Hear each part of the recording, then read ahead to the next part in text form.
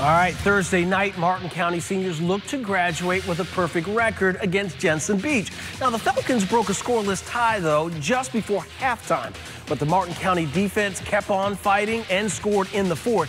Now, Jensen Beach's Dennis Palmer wrapped things up with a late score. Jensen wins it 14-7. their first win in the series since 2019. They finished the regular season at 9-1. Congratulations to them.